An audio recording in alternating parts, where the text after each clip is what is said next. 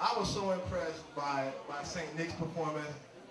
My boy Mark came here tonight and was like, look, you know, I can dance too, man. I mean, shit, can I show my stuff? He didn't say shit. I'm saying it. Mark, tell them, tell them what you got going on. Where can they find you? How long you been dancing? Just tell them what's good. Hey, listen up. This boy about to dance for y'all. Listen to what he got to say. I've been dancing for two years now. I dance all over Charlotte, and from the clubs to Walmart, anywhere. He do it in New York style. He put the, the little guitar box in there, like, yo, throw the chain in, I'm gonna do my little thing for y'all, you know.